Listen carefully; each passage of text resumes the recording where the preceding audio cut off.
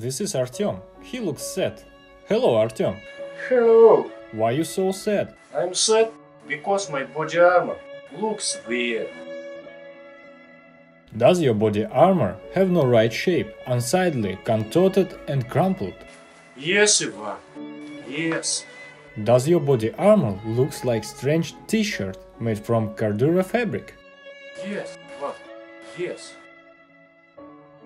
Does your body armor have no protection from BBs? Yes. It's very hard. Pain.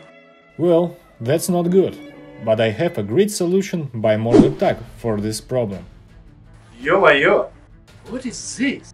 What is this? This is our special insertions for 6B23 body armor. The set consists from 4 pockets which imitate Kevlar and give your vest the right shape. Without them, your vest is just a cover and does not have the correct appearance. But with our insertions, you can easily fix it. Each part of the set clearly fits the shape and volume of your vest. To install them, you just need to open the desired part of the vest, roll the insert and spread it inside the vest. Then repeat the same with the rest of the vest.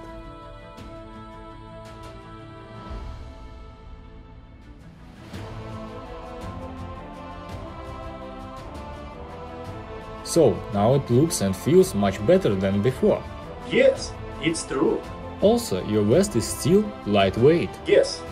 It's good for airsoft. Now getting BBs in the torso is not a problem. Now you can leave the battlefield like McGregor. What about 6B13? Wow. Mordor makes insertions for any Russian vests. No longer need to buy filler from a hardware store and cut them out yourself for your vests. Now you need only buy them and get the perfect result without tools and complicated instructions.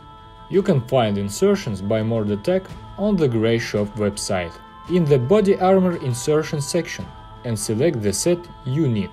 We also have replicas of armor plates for different vests. We hope you like this video. Thank you for watching.